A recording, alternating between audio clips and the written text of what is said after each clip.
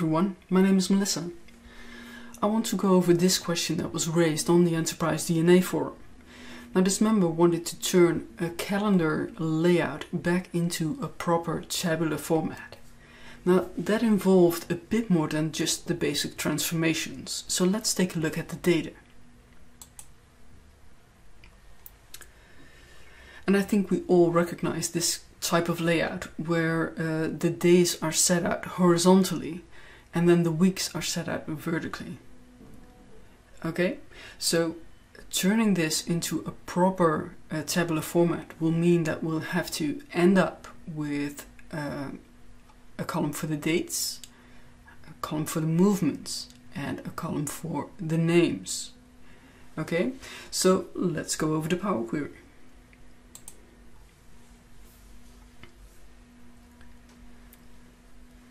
Now before we get started, if the formula bar is not visible on your screen, please go to the View tab and toggle it on.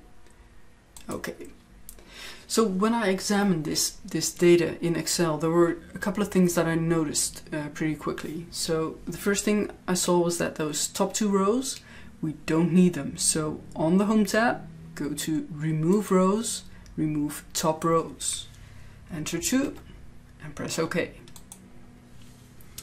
And we also don't need column 1, so we can remove that as well. So on the Home tab again, choose columns, deselect column 1, and press OK. Now I also noticed that there were a couple of blank rows. So uh, these records, records 16 uh, to 14, they're completely filled with null values. So as you can see, moving off to the side, only nulls. So we can remove those completely blank records. So remove rows and remove blank rows. Done. Okay, now the next issue that I saw was that these date values kind of skip a column every every time. So not only in the top row, of course, but at all these places. They're always skipping a column and we somehow have to fill these gaps. So to do that, we're going to flip this table on its side and see if we can sort that. So on the transform tab, we'll go to transpose. Excellent.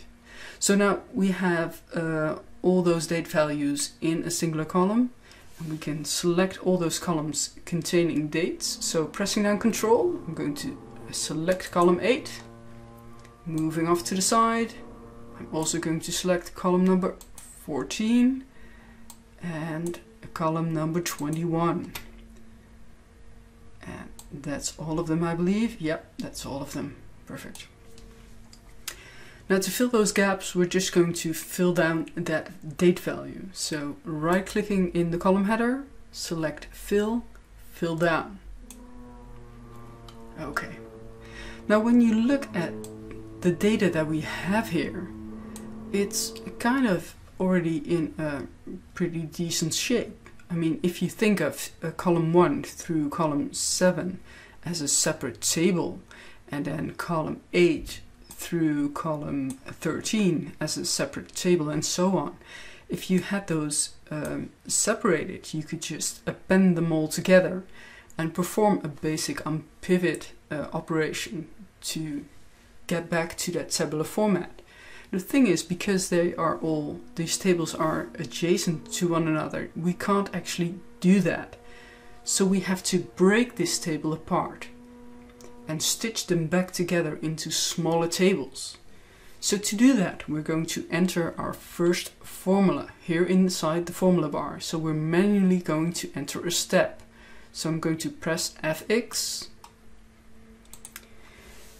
and the first thing we're going to do is we're going to use the table dot to columns operation. So table dot to columns.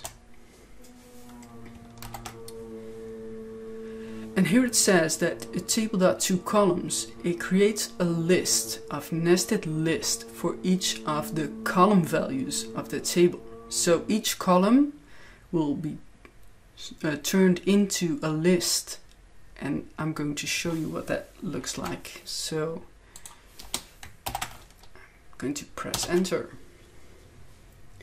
So we now have a list object here, and this list only contains other list values, as you can see. Now when I click off to the, to the side here in the white space, down below we can see a preview, and let me make that a bit bigger. So you'll see that the first list is all the values from column 1, and the second list, column 2, and so on.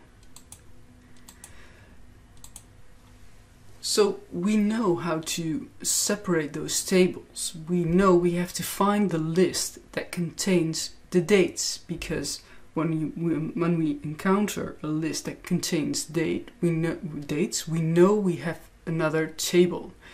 We have the first column of a new table.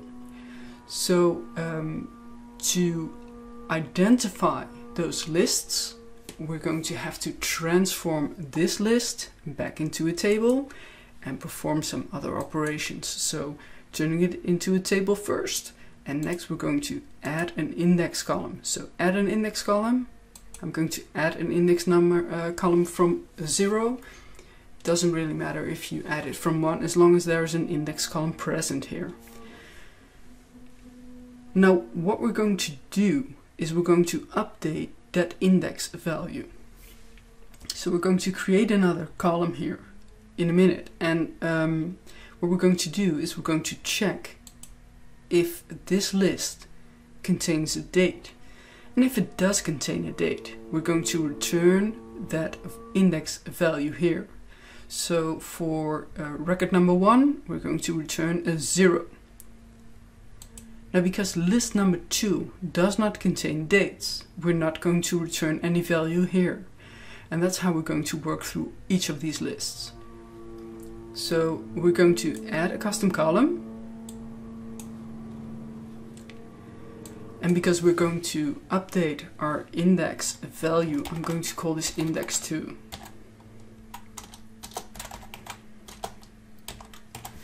Okay. Now first off we're going to perform that logical text, a test. So we're going to say if and then we're going to have to check uh, the list in column number one. So I'm going to reference column number one here. And we're going to have to extract a value from that list to be able to check if that is a date or not. Now the access operator uh, for, um, for that is those curly brackets. So Power Query is zero based. So adding a zero between those curly brackets will mean that I get the first value from that list. That's what we're going to do here. And then I'm going to check is is that a date? Now, if it is, then I want to return the index number. And if it's not, I don't want to return any value at all. So it said we didn't make any errors here, so I'm going to press OK. And this is looking good. So we know our first list contains dates and it returned a zero and it also for record 8 returned the index number. So let's check and that also contains the dates. So that is looking pretty good. Now we need to be able to um, get all these lists and group them back together into a table. So that means we have to have the same index number here. So we're going to fill that down. So I'm going to right click the index column and select fill, fill down. So each, uh, uh, let, let's call it future table, now has the same index number here. So we can identify those lists that belong to a single table. So everything with index to a value 0 that should be turned into a single table and everything with the index to value number 7 that should be turned into another table. Okay, and how are we going to do that? Well, we're going to use the group by operation. Now, I don't want to uh, enter the entire syntax here, so I'm going to select it here from uh, the ribbon and then we're going to update it inside the formula bar. because there is no way to uh, to perform the transformation that we need from inside um, this uh, the screen.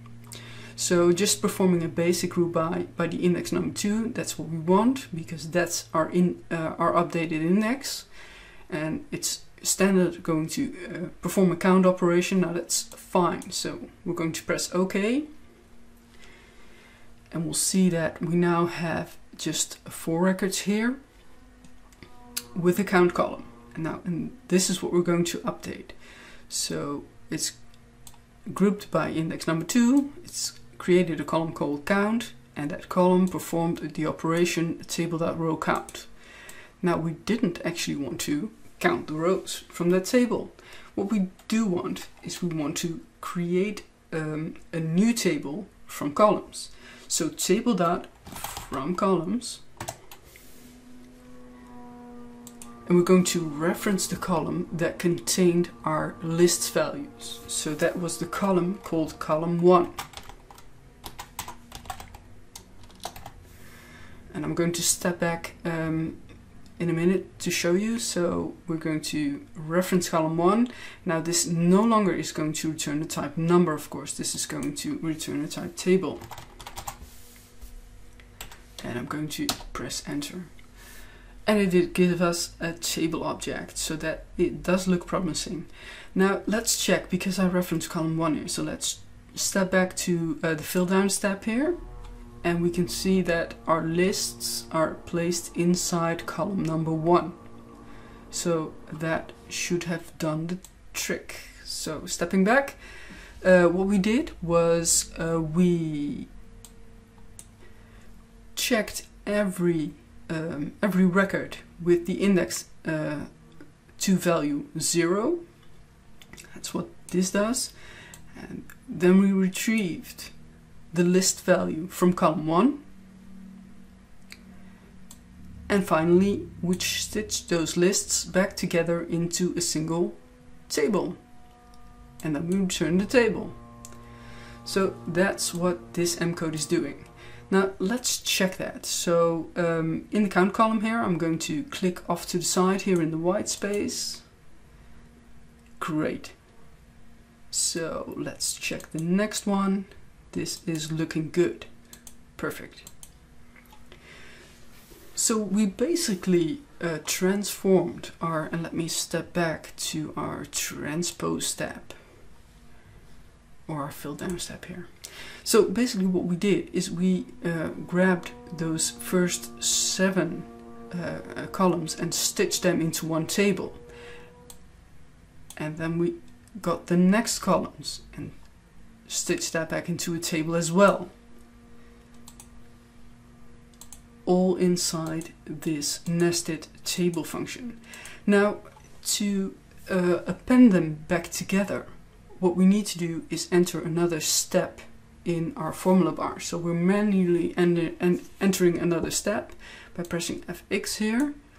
And what we're going to do is we're going to table.combine.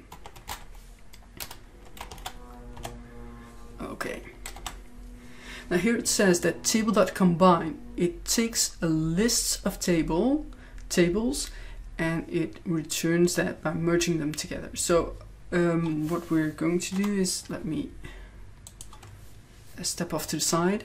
So a column is base a single column is basically a list. So if we reference the column count, we have a list of tables. And table com uh, dot combine combines those that list of tables back into a proper column, uh, a proper table. So let's access that. Let's reference that count column add a closing parentheses, and press enter. Amazing stuff. So we now have a giant table where all those um, nested tables are appended back into one single big table right here. So all we need to do now is just some, uh, just well, a couple of last steps. So I'm going to select column 1 and 2, so pressing down either shift or control, that doesn't matter, They're, the, the columns are adjacent, so on the transform step I'm going to select unpivot other columns. Now we don't need this attribute uh, column, so I'm going to deselect that here.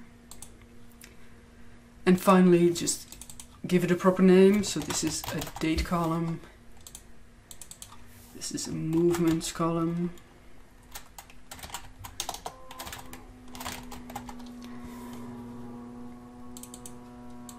And this is a name column. Of course we have to set the correct type, so this is a date and this is a type text. All done. Perfect.